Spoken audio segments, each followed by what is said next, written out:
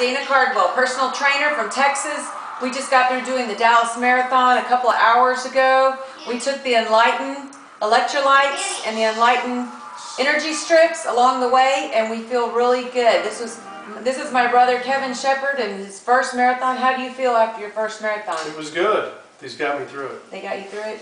Sweet. Well, we're going to look for Shaq to support us, and I'm doing a Capital Texas Triathlon Olympic next month, and then a 70.3 Ironman in Kansas.